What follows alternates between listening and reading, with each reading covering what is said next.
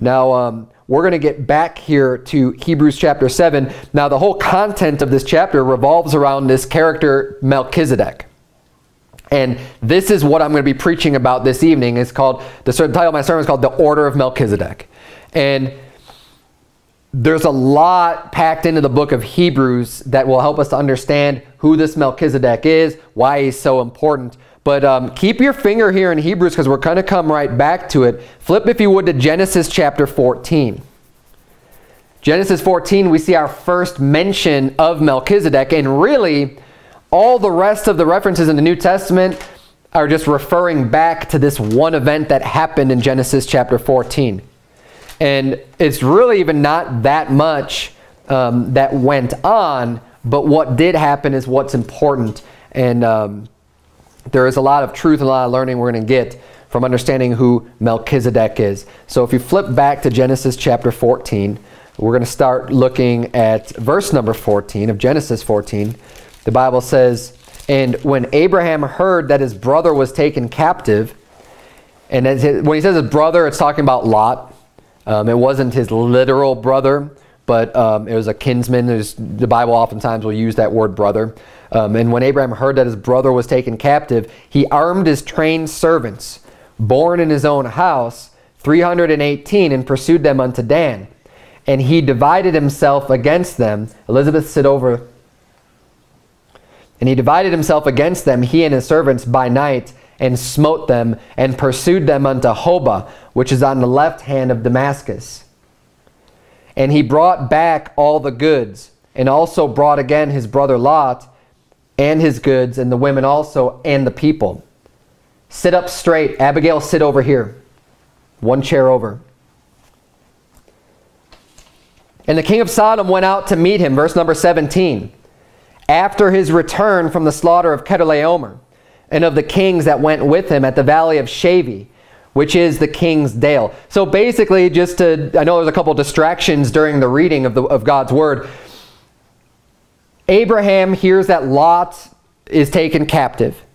Um, when there was this battle, and remember Lot was living in Sodom, and the kings of Sodom were defeated. These other kings came in and they took all the people hostage. They took them captive and, and were, were going away with them. Abraham hears about this so he's like, I'm going to go get him back. You know, I mean, that's his brother, that's his kinsman, that's his family. And he goes and brings his hired servants. You know, they go, they fight against them, and they free all these guys. They bring all these captives back, is essentially what happens here. So the king of Sodom then meets them and is like, you know, basically, thank you. They bring all the captives and stuff. And it says, um, verse 18, now we're going to see Melchizedek. Okay, this is the Old Testament reference for Melchizedek. And Melchizedek, king of Salem, brought forth bread and wine and he was the priest of the Most High God. And he blessed him and said, Blessed be Abram of the Most High God, possessor of heaven and earth, and blessed be the Most High God, which hath delivered thine enemies into thy hand. And he gave him tithes of all. Um, so this, this Melchizedek, it's, it's not a very big portion of Scripture that, that, he's, you know, that he has in the Bible, just in general, but there's a lot more in the New Testament explaining a lot more information about Melchizedek. With the information we get from Genesis 14, it says he's the king of Salem, and we're going to learn from Hebrews that the word Salem means peace. He's the king of peace. He's the king of Salem. Um, notice here, he brought forth bread and wine. That's going to be important. And he was the priest of the Most High God. Back in Abraham's days, this is still before Moses, right? This is way before the Mosaic law and Levitical priesthood where, um, you know, the sons of Levi are the ones given the charge of God's service and the sons of Aaron. Remember, Aaron is the, becomes the high priest and it's his children and his descendants that become the priests after him. So those are the priests of God, but, but none of that has been established yet. That would be the priests in the Levitical priesthood, the sons of Levi. This is prior to that. We see Melchizedek, he's the high priest, he's the priest of the Most High God here in Genesis chapter 14. And we see that Abram, Abraham, when he comes back, he actually pays a tithe. He pays a tenth of the spoil because when he came back, when he freed the captives, he didn't just come back with the people, he came back with all of their stuff right? Because when, when these other kings had, had defeated in battle Sodom and Gomorrah and these other, and these other nations, well, when they left, they took the spoil. They took, you know, cattle and, and things and you know all this other stuff as, as their reward for, for defeating the enemy in battle, right? I mean, they're taking captives, they're taking everything that they could and basically looting them and, and bringing it back. So when Abraham goes, he's just concerned about Lot, but since he defeats him in battle and there's all this stuff, he brings all the stuff back to Sodom. Not that he necessarily cares so much about Sodom as he's, you know, cares about his family, but when he defeats him is, you know, the right thing to do. He brings all that stuff back. And, um, he paid a tithe of all of that stuff then unto this Melchizedek, the king of Salem. Now, turn back, if you would, to Hebrews. We're going to start reading in Hebrews chapter 4.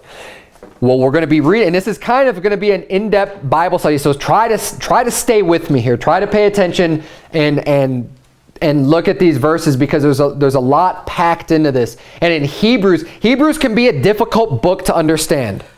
Hebrews isn't the most easy doctrinally to get. That's why it says, you know, leaving the, um, you know, the doctrines, uh, the principles of the doctrine of Christ in chapter 6.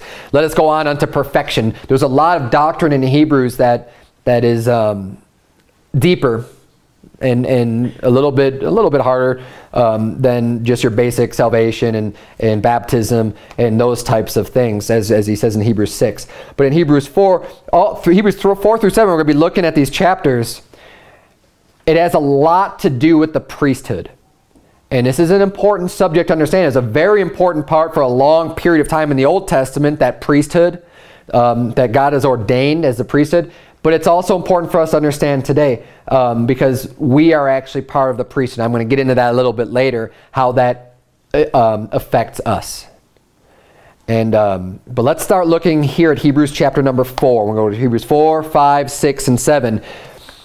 Hebrews chapter 4, look at verse number 14. The Bible says, Seeing then that we have a great high priest that is passed into the heavens, Jesus, the Son of God, let us hold fast our profession. So very clearly we're seeing right now our high priest is Jesus Christ. He is the high priest. Verse number 15, For we have not an high priest which cannot be touched with the feeling of our infirmities, but was in all points tempted like as we are, yet without sin. Let us therefore come boldly unto the throne of grace that we may obtain mercy and find grace to help in time of need. Jesus Christ, um, the reason why he's, he's a high priest he says we don't have a high priest that can't be touched with the feeling of our infirmities because Jesus Christ was made flesh. He understands our infirmities. He understands what it's like to be a human. He understands the temptations, yet he was without sin. He did everything right. But he could understand what we go through and what we deal with. So he is a high priest that we can go to who is going to completely understand us and understand what we need and understand everything about who we are. And he's saying we could come boldly unto the throne of grace. We can boldly come before Jesus Christ to obtain that mercy and find grace in the help of need because we know that he understands us. We don't have to worry about him you know, not getting, not understanding where we're at because he became a man. He, he, he was a man. He gets it. So we could come boldly under that throne and, um, and obtain mercy from him. Flip over to Hebrews chapter 5. That's our first mention of a high priest being Jesus Christ. Hebrews chapter 5, verse number 4. The Bible says, And no man taketh this honor unto himself. He's talking about the honor of being a priest. Okay? No one just comes and just says like, well, I'm just going to be a priest. He says, but he that is called of God, as was Aaron. So also Christ glorified not himself to be made an high priest, but he that said unto him, Thou art my son, today have I begotten thee.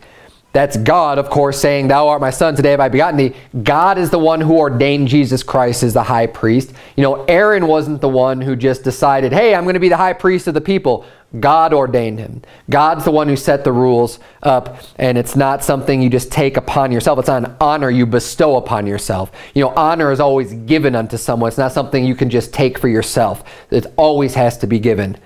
And it says in verse number 6, As he saith also in another place, Thou art a priest forever after the order of Melchizedek.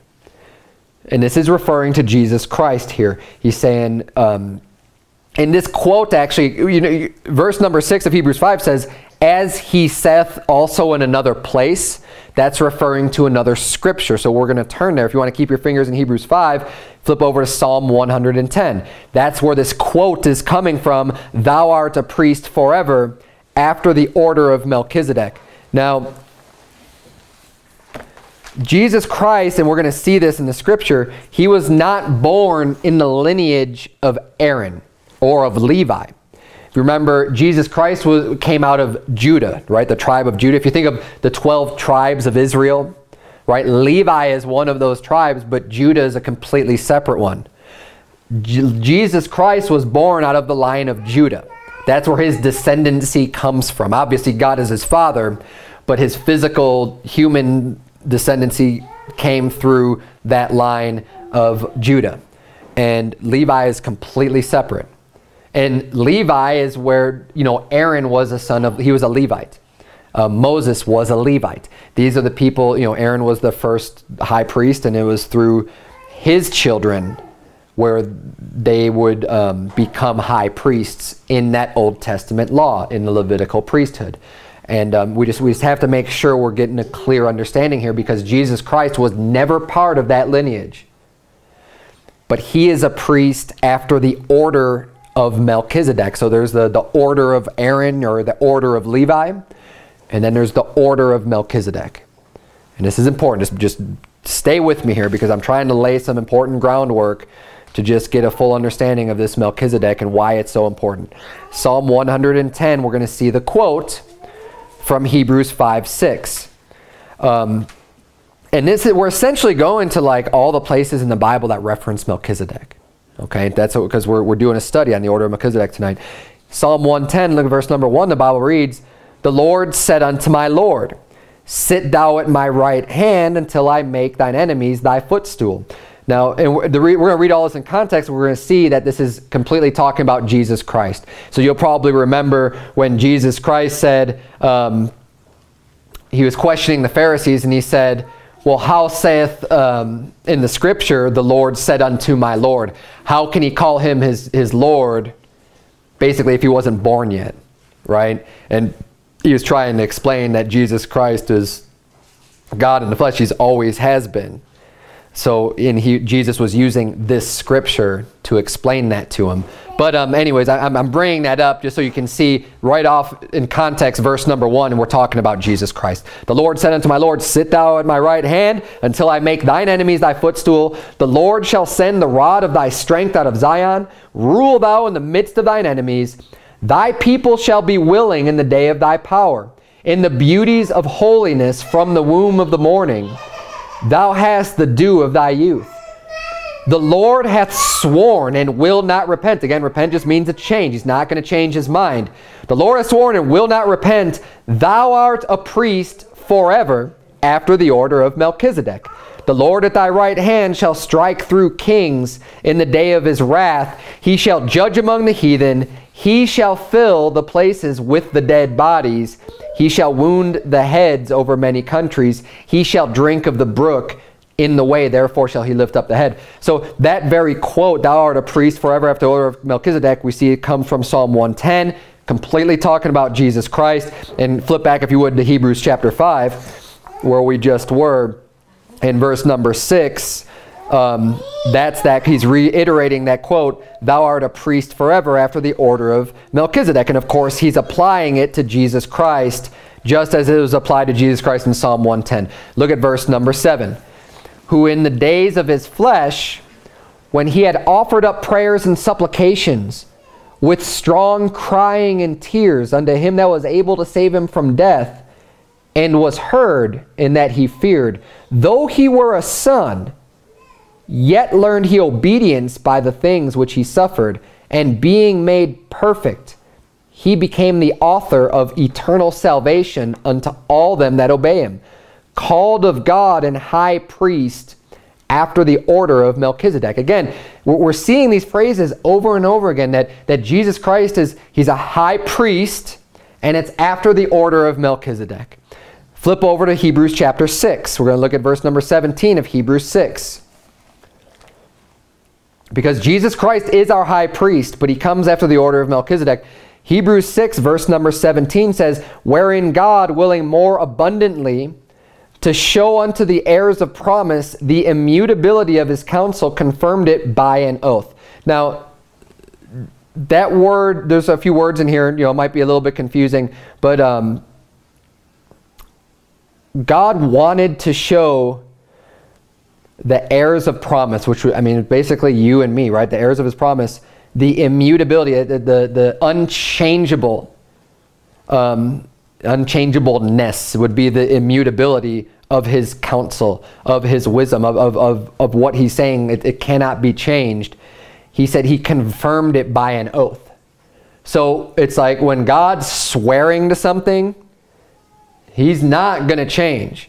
And there's no way that could be broken or changed at all because God is true to his word every single time. And if he's making an oath, he said he confirmed it. Not only did he say it, he confirmed it by an oath. This is what we're reading here in Hebrews 6, 17. Look at verse number 18. That by two immutable things, two things that can't change, in which it was impossible for God to lie. So just as a side note, if you're ever looking for a verse that, that you could show someone that just clearly defines it is impossible for God to lie, Hebrews 6.18 is the one to turn to. God cannot lie. We might have a strong consolation who have fled for refuge to lay hold upon the hope set before us, which hope we have as an anchor of the soul. This is, I mean, I love the language used in the King James Bible. It's so descriptive. It so um, explains you know, our hope and of our salvation through Jesus Christ. Hey, God made an oath. God can't lie. There's no way God's going to go back on his word and we could, I mean, you think of an anchor in a boat. I mean, you drop that anchor, it sinks down into the ground and your boat's staying steady. It's not going anywhere. Well, Jesus Christ is our anchor. We have an anchor for our soul we could completely rest and trust our, our, our soul in Jesus Christ. He says, both sure and steadfast, which entereth into that within the veil, whither the forerunner is for us entered, even Jesus, made an high priest forever after the order of Melchizedek. Jesus is the high priest forever. Flip over to Hebrews chapter 7. Now, this is where we started reading. This was our main passage when we started um, when we started the sermon tonight, and we're going to spend basic, essentially the rest of the time going through Hebrews 7, almost like a, a regular Bible study where we're going through these verses because it covers so much about um, the order of Melchizedek. And, and look at verse number 1. Now, we had already flipped back to Genesis chapter 14 to get that story about Melchizedek, that this literal story um, uh, the king of Salem was named Melchizedek. He's this, you know, there was a person that Abraham actually gave the tithes to. Okay, and um, and he blessed them, and, and, and don't forget because the Bible says that Melchizedek he brought bread and wine, right? Look at verse number one of, of Hebrews seven one. Uh, Hebrews chapter 7, it says, For this Melchizedek, king of Salem, again, we're seeing the same thing, priest of the Most High God, everything we saw in Genesis 14, who met Abraham returning from the slaughter of the kings and blessed him, to whom also Abraham gave a tenth part of all. First being by interpretation king of righteousness, and after that also king of Salem, which is king of peace. Now look at the attributes here. This is talking about Melchizedek. He says he's the king of righteousness, and also after that, king of Salem, which is king of peace. Verse number three, without father, without mother, without descent, having neither beginning of days nor end of life, but made like unto the Son of God, abideth a priest continually. Now, who do you think, who fits that bill? When we look at that description, who do you know that has no father, no mother, no beginning of days, no end of life, is eternal. He is, right? Remember we talk about I am that I am. That defines eternal. No beginning, no ending. He always has been. the King of Peace. You could also say the Prince of Peace, right? The, um, the King of Righteousness. But it even says, but made like unto the Son of God abideth a priest continually. This is who Melchizedek was. Melchizedek was an Old Testament appearance of the Son of God, of Jesus Christ. That's who Melchizedek was. I mean, there's no other explanations. Otherwise, who else is he going to be?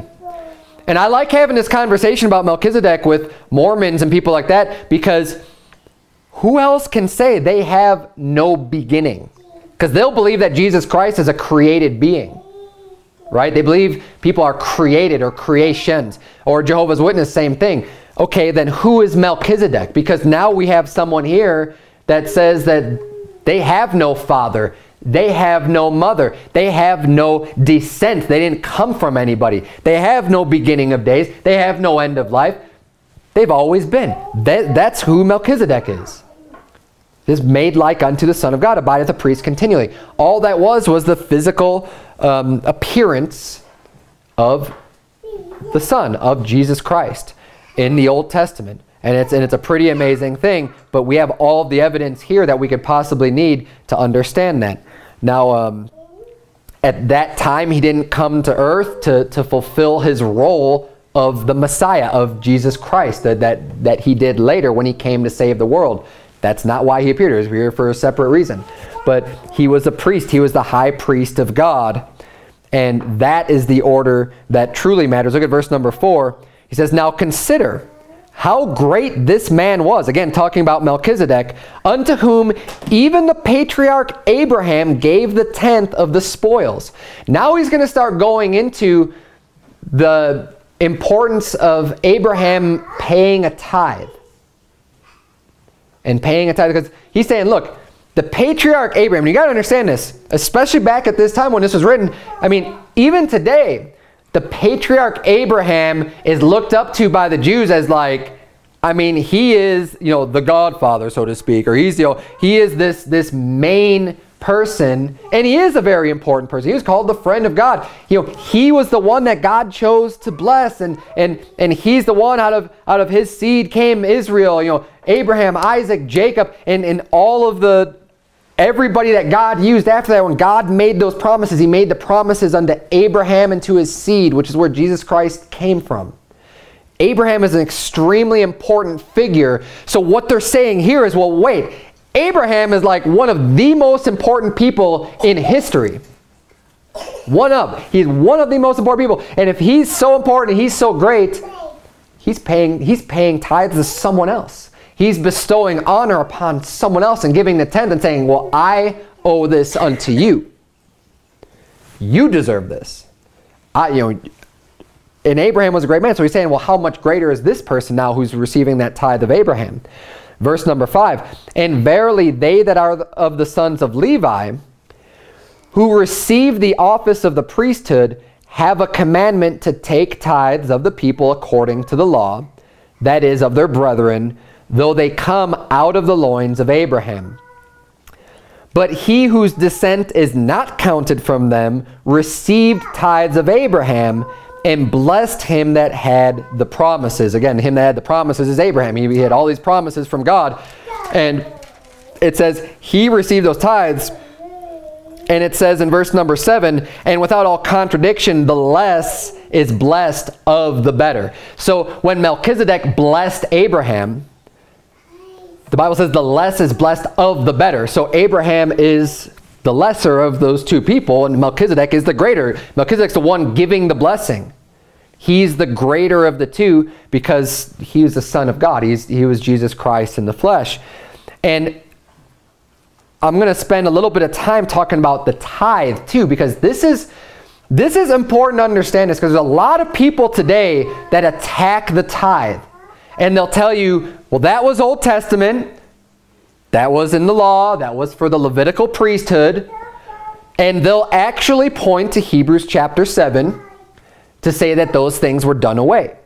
And because the Levitical priesthood was done away. Now, I'm going to prove to you tonight, I'm going to show you that that's just simply not true. And they're misapplying what Hebrews 7 is even talking about and why they're even bringing up the tithe. Because the, the fact that it's bringing up the tithe is very important, but I think it proves my point completely and destroys these people who want to deny the tithe altogether. Now, I'm not going to get into all the other various proofs and reasons for the tithe, but just what, what we're seeing here in Hebrews 7 is extremely important because keep this in mind too. When Abraham paid the tithe unto Melchizedek, this is before the Levitical priesthood and before that was written in that law to give tithes unto, unto the children of Levi and to give tithes unto the priest. We see a tithe that, that preceded that law. So what is done away with the tithe is we are no longer tithing unto the children of Levi, but the Levites aren't even the priests. They're not, they don't handle the charge of God anymore, so that has changed. But the tithe altogether, or the concept of the tithe, has not been done away. The tithe existed before the Levitical priesthood. And the tithe still exists after the Levitical priesthood. But let's keep reading here because they've really, I mean, Hebrews 7 really talks in depth about the tithe. And it's making a very important um, point that, that Abraham actually paid tithe. It's saying um, in verse number 5, we already read this, but he says, And verily they that are the sons of Levi who receive the office of the priesthood have a commandment to take tithes of the people according to law, that is of their brethren, though they come out of the, the loins of Abraham. Um, that's not the verse I was looking for, but he's saying that um,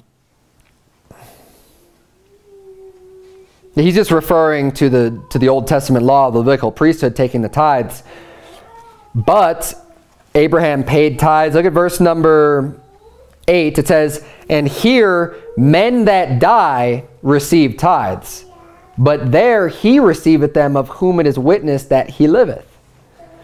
Verse number 9, And as I may say, as I may so say, Levi also who receiveth tithes paid tithes in Abraham, for he was yet in the loins of his father when Melchizedek met him. So they're saying, even Levi now, who are the ones that receive the tithes, according to Levitical priesthood, even Levi paid tithes because they're saying that he was still in the loins of Abraham. Like they, he wasn't even born yet, but even the people who are receiving tithes now, they paid tithes to this Melchizedek. Now, um, why is there so much talk about the tithe being paid to Melchizedek? Why is this so important? Like, why, why do they focus so much on this event happening? The reason why is because the tithe belongs to God. And I'm going to prove that to you for just from a few um, places in Scripture. Genesis 28. You, you could turn these places now if you want to. I'll go through them pretty quickly. Genesis 28, verse number 20, we're going to see Jacob. And guess what Jacob did? Jacob also pays a tithe unto God. Right? This is before the Levitical priesthood. This is before Moses. Right? Jacob becomes Israel, and Israel has the 12 tribes. Pre, it predates that. So we see not just Abraham paid tithes, now we're going to see Jacob also paid tithes. Genesis 28 verse 20, and Jacob vowed a vow saying, If God will be with me and will keep me in this way that I go, and will give me bread to eat and raiment to put on, and remember from this morning, heaven, therefore food and raiment, let us be there with content.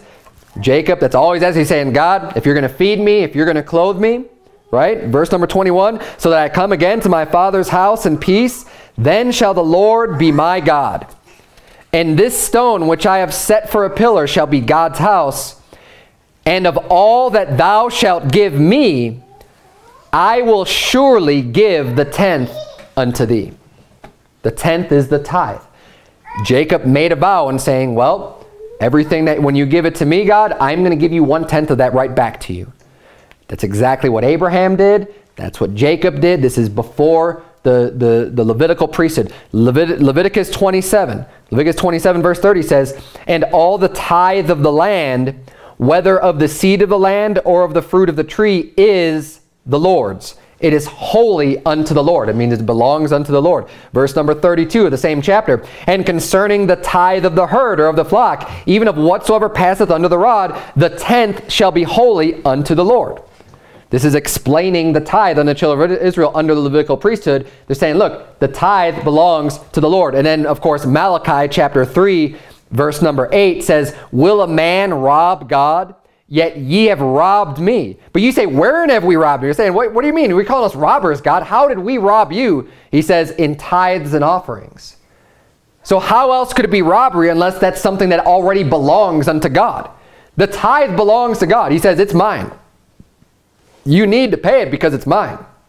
Not because you're doing me a favor, not because you're just giving me something out of your heart. He's saying, this is a command, this is a demand. You, you owe this to me. I give you everything, you need to give me one-tenth back.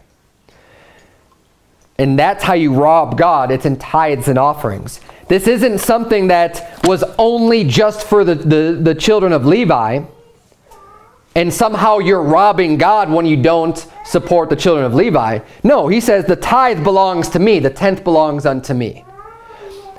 Which is the whole reason why they're bringing this up about Abraham paying tithes to Melchizedek. Because Melchizedek was God in the flesh. It was Jesus Christ walking on this earth. The tithe belonged unto him. And that's why he paid it. And that's the, the what's being emphasized here and, and really going over that this, this, this uh, point of the tithe. Let's keep reading now back in Hebrews chapter 7. If, in case you had flipped over and looked at any of these references, we'll go back to Hebrews chapter 7, verse number 11. The Bible says, If therefore perfection were by the Levitical priesthood, for under it the people received the law, what further need was there that another priest should rise after the order of Melchizedek and not be called after the order of Aaron? For the priesthood being changed, there is made of necessity a change also of the law. Important phrase because it's explaining that we are no longer, and especially at this time, because a lot of people were still following and practicing the Levitical priesthood ways from, from the Old Testament.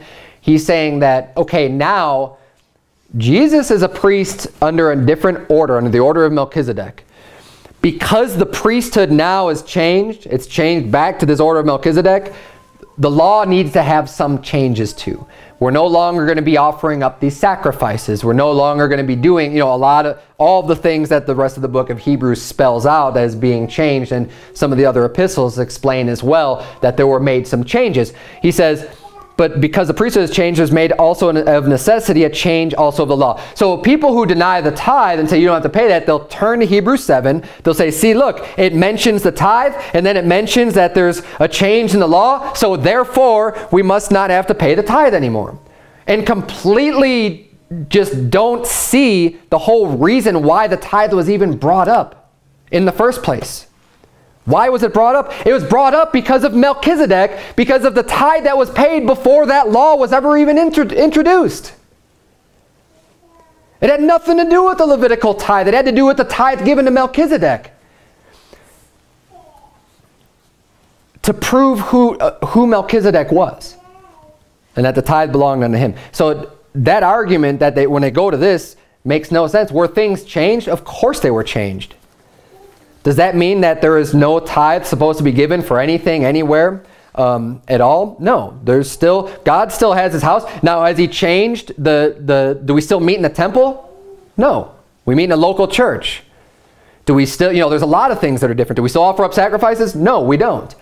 The Bible says uh, we don't meet in the temple. The body is our temple, right? We have the Holy Spirit residing inside of us. There's, you know, God can speak to our hearts directly. He's written in our hearts and in our minds His laws and His words. And um, all these things being changed, yet there still is a bishop. There still is a pastor. There still are people who are in who are given a charge by God to do a certain work. And you know, again, the New Testament explains that. Um, they that, that preach the gospel should live of the gospel. And there's, there's many other references that explain that it is appropriate for a pastor to be paid. And if a pastor is going to be paid through the church, then um, it only makes sense that it's going to come from the tithe. Because that's exactly what was used in the Old Testament with the priests to support them so that they could have full-time service to God. they would receive a tithe. They would receive compensation for that work so that they don't have to work another job and do the work of a priest. And it's the same thing in the New Testament. Um, the tithe has been around even prior to the Levitical priesthood. But um, I just wanted to point that out because it's an important point to make, and people will try to turn to Hebrews 7 to, to use it as proof that we don't have to pay a tithe. But that is completely false. Um, and that's just what the Bible says. I don't care what people think, like, oh, yeah, you're just preaching for me. Yeah, listen to my sermons because that's what I'm preaching for, because that's what I care about. I care about the big money coming in and, and paying me a salary. You can judge that for yourself if you think I'm just preaching for money up here. Judge that in yourself. But um, if you're just going to say because a pastor's getting paid, he's automatically preaching for money, you're wrong and that's wicked. You better have proof of that because all the verses that, that talk about that are against a, a person preaching for filthy lucre's sake, that's what their intent is. That's what their motivation is, is money. So just because someone receives some money doesn't mean that that is, the, that is their motivation for preaching. That it's just to receive more money and just to get more money. That's what preaching for filthy lucre's sake means. So when you're going to accuse somebody of that, don't say that just because the church supports them through the tithes so that they could continually be dedicated to the Word of God and to ministering the Word of God because that is the reason why they receive any tithe in the first place and, and are compensated so that they could give themselves over continually to prayer and to um, the, the ministering of the Word of God. And someone who's, who's doing it for the right reasons, they're not preaching for filthy lucre's sake. I'm sick of these, these false accusers that just anyone who receives, a, receives any compensation for, for doing the work of a pastor or of a bishop, they're automatically just preaching for money. It's not true. When you, they, they use these verses out of context and they misapply them to people who are doing the right thing and are doing the work of God. And they're not preaching for money. They're preaching um, because they were called of God to do that. But um, let's keep reading here. So verse number 13 says, For he of whom these things are spoken pertaineth to another tribe of which no man gave attendance at the altar. For it is evident that our Lord sprang out of Judah. This is why I, I covered this earlier. Of which tribe Moses spake nothing concerning priesthood. And it is yet far more evident. For that after the similitude of Melchizedek there ariseth another priest, who is made not after the law of a carnal commandment, but after the power of an endless life. Again, we see the, the of course, Jesus Christ has an endless life. And um, he didn't come to, the gospel isn't obeying the carnal commandments. It's not obeying the, the laws. It's faith through, through Christ and through his, uh, what he did for us. Verse number 17, For he testifieth, Thou art a priest forever after the order of Melchizedek. For there is verily a disannulling of the commandment going before for the weakness and unprofitableness thereof. For the law made nothing perfect, but the bringing in of a better hope did, by the which we draw nigh unto God, and inasmuch as not without an oath he was made priest. For those priests were made without an oath, but this with an oath, by him that said unto him, The Lord swear and will not repent, Thou art a priest forever after the order of Melchizedek. By so much was Jesus made a surety of a better testament. And they truly were many priests because they were not suffered to continue by reason of death. So he's saying there were many high priests under Levitical priesthood because they couldn't continue because they would die because they were human beings. Right? That Levitical priesthood would, it, it, it changed as people would die. There'd be other priests would rise up into, into doing that same office and doing that same job because they're just human beings. But he's explaining, but Jesus Christ, because he lives forever, he is always that high priest. He always has that job. Verse number 24 says, But this man, because he continueth ever, hath an unchangeable priesthood. The priesthood never changes. It's always with Jesus Christ, the high priest. Verse number 25, Wherefore he is able also to save them to the uttermost that come unto God by him, seeing he ever liveth to make intercession for them. For such an high priest became us, who is holy, harmless, undefiled, separate from sinners, and made higher than the heavens. And again, we see this. This is a much more complicated um, description or explanation of Jesus Christ being God in the flesh. But it is nonetheless, it is exactly saying Jesus Christ is everlasting. He has no beginning. He has no ending. He's separate from sinners. He's always there to make intercession for us. He's made higher than the heavens. You know, he's undefiled, holy. This is all talking about Jesus Christ. This can be used as another um, support to support the deity of Jesus Christ. It's just a lot more complicated because um, it's not quite as clear cut as many other verses are. But it's saying the same exact same thing. Verse number 27, who needeth not daily as those high priests offer up sacrifice first for his own sins and then for the people's. For this he did once when he offered up himself. For the law maketh men high priests which have infirmity. But the word of the oath which was since the law maketh the Son who is consecrated forevermore. So real briefly, the last point I want to I want to cover tonight is you know, the priests in the Old Testament, they were of the tribe of Levi, right? That's how they became a priest. So basically, you had to be born into that job. There was no other way to, to, to become one of the priests. Not only did they have to come be born of Levi, specifically they were of the children of Aaron. The entire tribe of Levi, they had the service of God. They would help with doing um, just many of the tasks involved with, you know, at, at, one point setting up the tabernacle, taking it down, who was in charge of all the different things. Um, also the, the daily sacrifices and, and all these other things as well. But then um, the job of the, of the high priest, he went into the holiest place of all within the veil, and he would do specific sacrifices, and certain jobs and tasks were given unto them, as uh, given unto him as the high priest. And um, so in the Old Testament, you had to be of the, the tribe of Levi, you had to be a lineage of, of Aaron, and not only that, the high the priests were always anointed with oil. That was part of their ceremony. When they have a new priest, they would anoint them with oil. Now, why am I bringing all of this up? Because in the New Testament, that Levitical priesthood is done away. We saw that, that Levitical priesthood doesn't exist anymore. But the priesthood has changed. It's no longer that Old Testament way, but it's under the order of Melchizedek. There are still priests. There's one high priest, it's Jesus Christ. But in the New Testament, we are born into that priestly line. Just like the Levi, you know, you had to be a child of Levi or a child of Aaron, a son of Aaron to be a priest.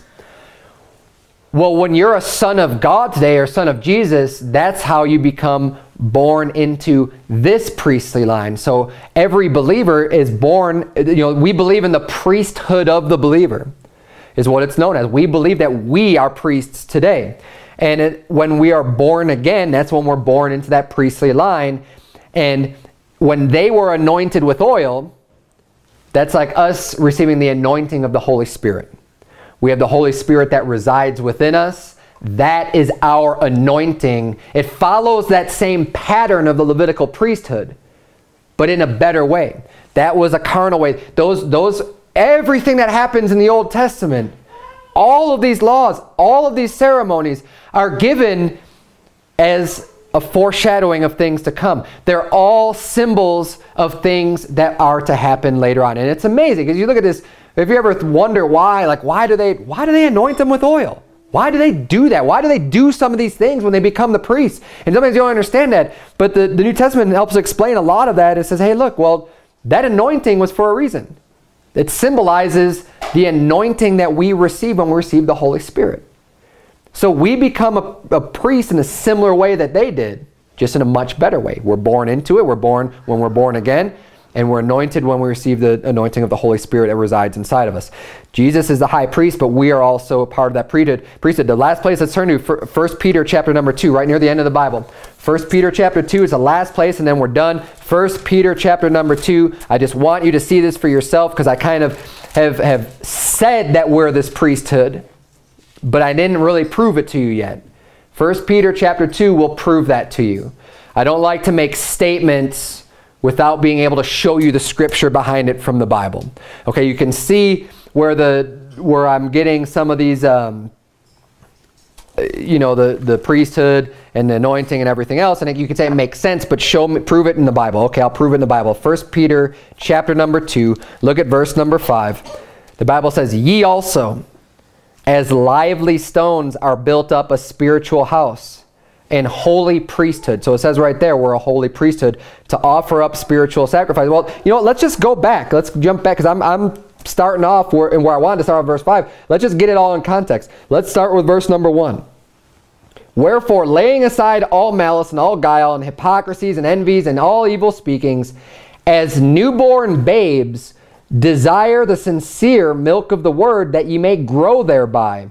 If so be ye have tasted that the Lord is gracious, to whom coming as unto a living stone, disallowed indeed of men, but chosen of God and precious, Ye also, as lively stones, are built up a spiritual house and holy priesthood to offer up spiritual sacrifices acceptable to God by Jesus Christ.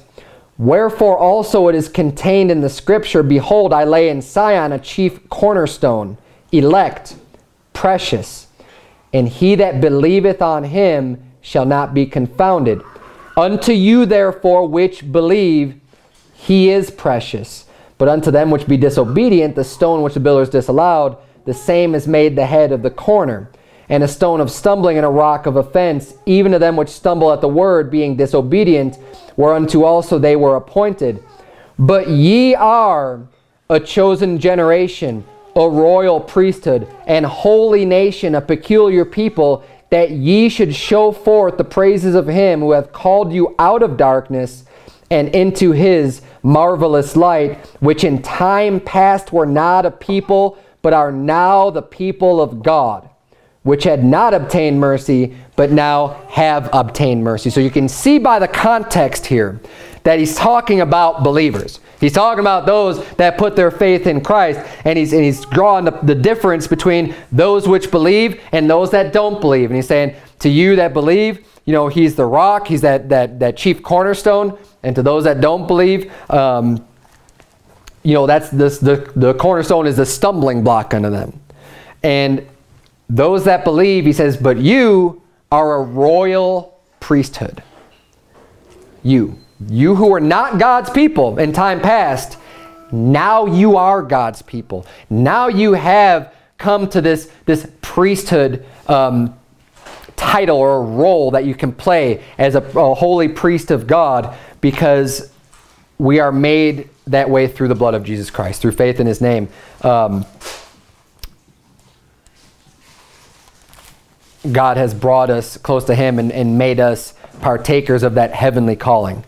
And it's important to understand these things. Melchizedek's kind of an interesting character in the Bible because you see, especially when you see the phrase, you know, he, without father, without mother, without descent, having neither beginning of days nor end of life, abideth a priest continually. So what's that talking about? That has to be talking about Jesus Christ. That's what who he was. Jesus Christ made, and you think about it, he didn't even just make that one appearance. You remember when Shadrach, Meshach, and Abednego got thrown into the burning fiery furnace? There were three of them thrown into there, but then when the king saw, he's like, well, wait, I see four people, and the fourth is like the Son of God. Right? Again, they got thrown in there, and Jesus made an appearance and was walking with them in that furnace of fire. Um, you see a few references like that of, of these appearances of Jesus Christ in the Old Testament. But in none of those appearances did he come to fulfill his role as, as Jesus Christ um, that he came to do, um, obviously, with, with, from all the New Testament passages. And um, So anyways, don't let anyone confuse you about who Melchizedek was. He's a good person to use to show the Jehovah's Witnesses and Mormons about who this is because they believe everything and everybody is a created being except for God. They believe that, that God is the only one that's like pre-existent, that is truly eternal. Show them Melchizedek. They ask, how could that be? And then don't let these people deceive you about the, the tithe either. The tithe had been going on before the children of Levi, and the tithe still continues after the Levitical priesthood. It's, um, it has a very specific purpose, and um, just don't let, and especially if they're going to turn to Hebrews 7, Now you can understand why that what they're saying is just completely false. But let's bow our heads and have a word of prayer. Dear Heavenly Father, Lord, we thank you so much um, for your words and for this scripture, dear God. I know it's kind of a, a little bit of a deeper sermon tonight, but um, it's important that we understand who, who these people are, especially there's so many references that you made to the, the priesthood being changed in the order of Melchizedek, dear Lord. And I think you're just driving home the fact that, um, you know, salvation does not come through obedience to the law, but by the faith of Jesus Christ. All of those commandments and all the laws that were given were given um, under the direction of Moses to um, for the people to follow. It's not that, that those laws aren't important, but we know that those laws do not represent salvation. Jesus Christ brings us salvation, and he was not a priest through that Levitical priesthood or the priesthood that gave us the law.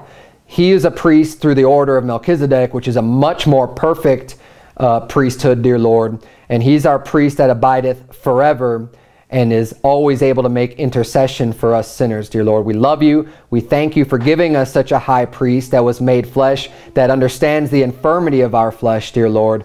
And we thank you, thank you, thank you for explaining to us that we can truly come boldly unto the throne of grace. That we don't have to shy away, we don't have to be timid, but we can come boldly unto the throne of grace to receive your mercy. We love you and we thank you for that. In Jesus' name we pray. Amen.